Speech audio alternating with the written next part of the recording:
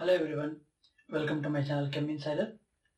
In today's video we are going to start a new chapter of hydro organic chemistry of our class 12 that is aldehydes, ketones and carboxylic acids.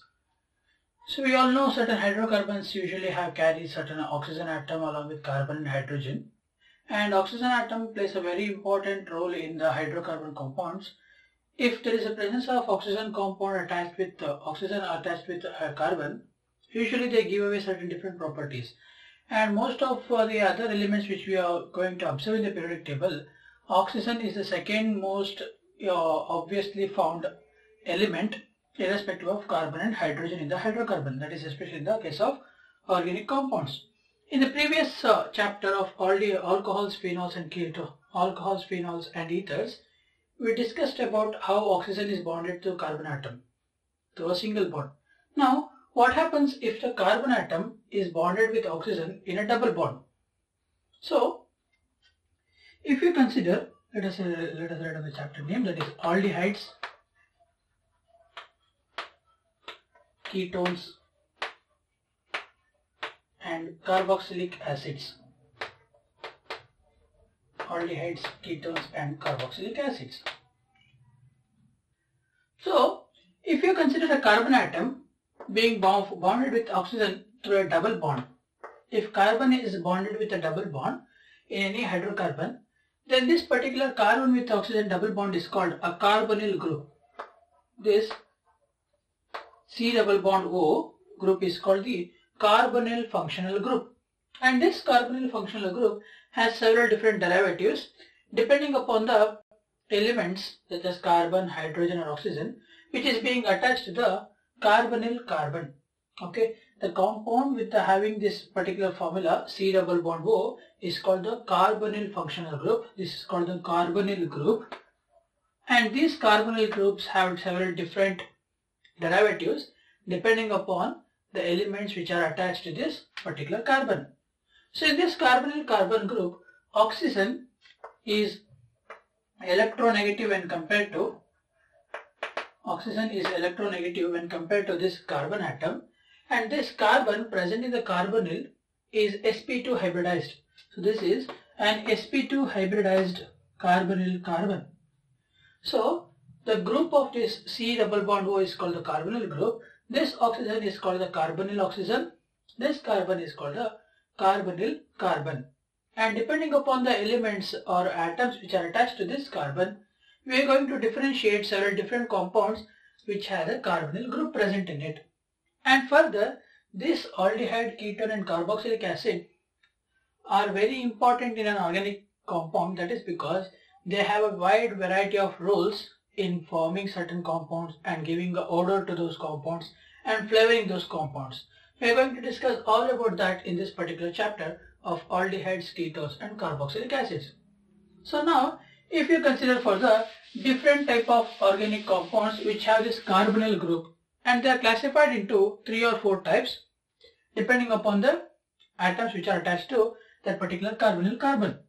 If this carbonyl carbon, if this carbonyl carbon is attached to at least one hydrogen, if it is attached, attached to at least hydrogen. If it is attached to one hydrogen or it may be more if it is attached to one hydrogen and one carbon. One hydrogen and one carbon. Then those are called aldehydes. If it is attached to minimum of one hydrogen it has to be attached with one hydrogen at a minimum case and it should attach to a carbon group or it may be a right any group so if it is attached to one carbon and one hydrogen, then those are called aldehydes and their general formula will be in like this R, C double bond O, H. These are called the aldehydes. In the second case, if it is attached to two carbon atoms, if it is attached to two carbon atoms, if the carbonyl carbon is attached to two carbon groups, then it is called as RR known as ketones. This particular compound is called the ketones. That is, if the carbonyl carbon is attached to two carbon atoms, it has to be attached to two carbon atoms in order to be then called as ketones. Next is a third type of group where if the carbonyl carbon is attached to is attached to one hydrogen or one carbon. If it is attached to one hydrogen or a carbon on one side and one oxygen and one oxygen of OH group. If it is attached to a carbon or a hydrogen on one side and it should be attached to oxygen of the OH moiety, then those compounds are called carboxylic acids. These are called carboxylic acid. These are called carboxylic acids. That is, if the carbonyl carbon is attached to one hydrogen or one carbon, it may be attached to a hydrogen or it may be attached to a carbon, but it should be attached to OH group, oxygen of the OH group. Then those compounds are said to be carboxylic acid. Next is, if the carbonyl carbon is attached to one hydrogen or one carbon, if it is attached to one hydrogen or one carbon and, and attached to one of one nitrogen of NH2 group. If it is attached to one hydrogen or one carbon on one side and it has to be attached to nitrogen of an NH2 group forming compounds such as R, H, C double bond O, NH2, then these are called amides. These are called amides. If the carbonyl carbon is attached to a hydrogen or carbon on one side and it must be attached to nitrogen of NH2 group on the other side, then that particular compound is called the amides. Next, if it is attached to one hydrogen or one carbon on one side, if it is attached to one hydrogen or one carbon and one halogen, one halogen, then those are called acyl halides. Then those compounds are called acyl halides of the formula R or H, C double bond O, X. These compounds are called acyl halides. Okay, that is if you start from first, if it is attached to at least one hydrogen and one carbon. If it is attached to one hydrogen on one side and may be attached to one or two carbon atoms on the other side, then those are called aldehydes. If it is attached to two carbons on either sides, then those are called ketones.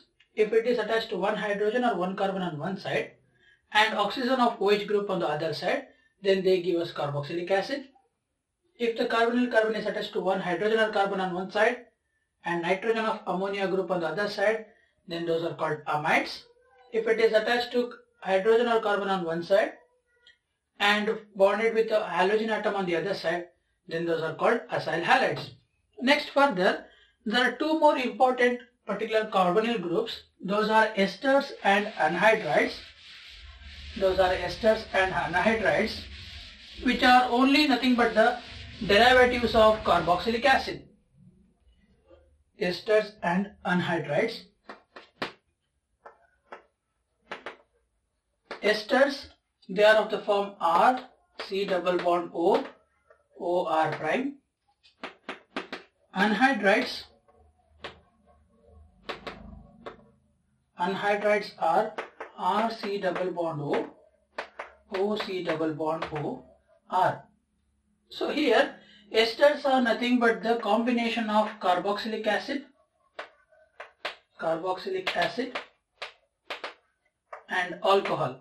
Esters are nothing but the derivatives of carboxylic acid with alcohol whereas anhydrides are just the derivatives of two different carbo two different or similar carboxylic acids. Okay.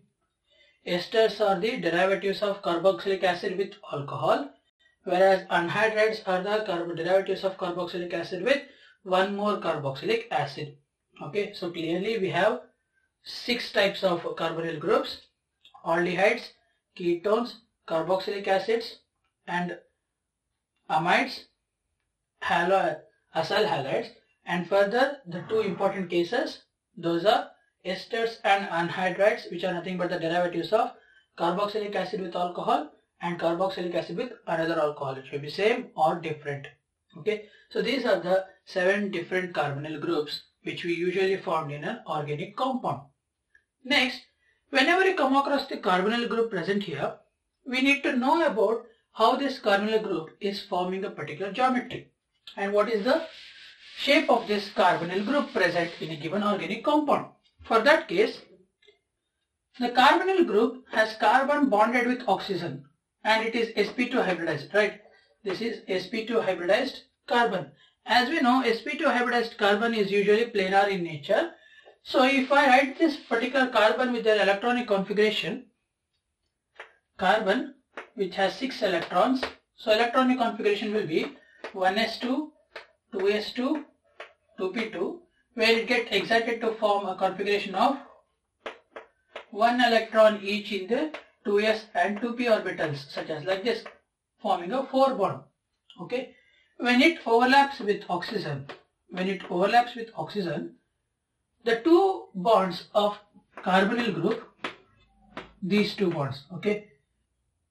These two bonds will be because of the overlapping of these two electrons with the different other atom okay and this particular one bond will be because of the overlapping of the electron at the p orbital.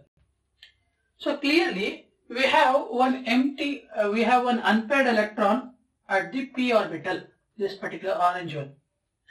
Okay, the unpaired electron of p orbital of the carbon atom will be in of the shape, if, this, if you consider this as a carbon, it has three bonds like this, one with oxygen and two with different other compounds which I have discussed earlier.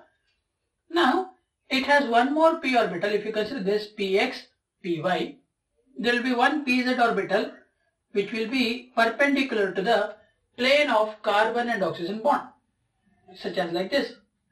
Similarly, oxygen will also have a pair of uh, electron, an unpaired electron in the pz orbital and two lone pair of electrons in it, one electron being bonded with carbon. Okay, so if you write down for the oxygen, it has two lone pair of electrons. Okay, so these are the two lone pair of electrons. One unpaired electron here and one unpaired electron over here. So, one electron will be bonded with these two particular atoms and there is one pz electron which is lying perpendicular. So therefore, the p orbital of the electron in the p orbital of carbon overlaps sideways with the electron in the p orbital of oxygen. That is, this is a sideways overlapping. This particular sideways overlapping induces a pi bond. The sideways overlapping of p orbital always give us a pi bond. So, since there is two electron, one from carbon and one from oxygen, which is sideways overlapping, therefore, we induce a second bond between carbon and oxygen, which is nothing but the pi bond.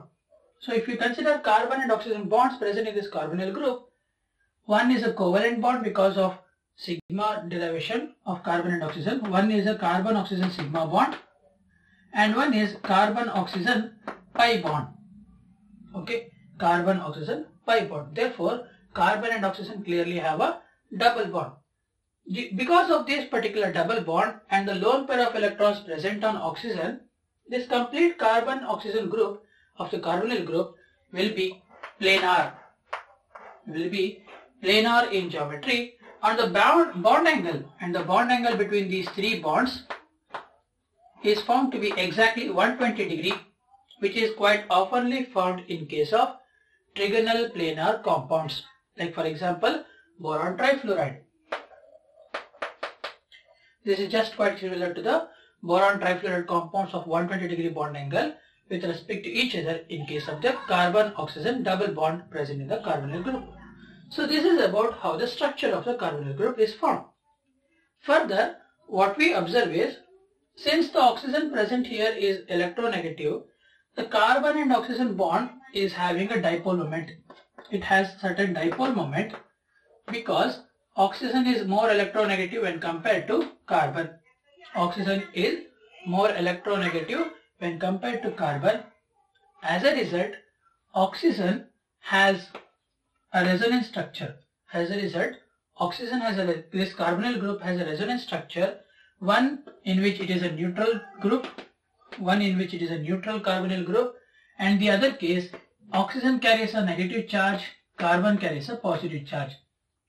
So these two are the resonance structure of the carbonyl group. Okay, because oxygen has a negative charge, it is said to be a nucleophile. It is a nucleophilic center. It is called a nucleophilic center and acts as Lewis base. O minus of the carbonyl group in its resonance structure acts as a nucleophilic center or which is also called as the Lewis base. Carbon with a positive charge acts as electrophilic center. It acts as electrophilic center which is also called as the Lewis acid. Okay, so this is how the particular structure of the carbonyl group is found to be formed and further we have discussed about several different types of carbonyl groups present. In the next class we are going to discuss about IUPAC and common name nomenclature of aldehydes, ketones and carboxylic acids.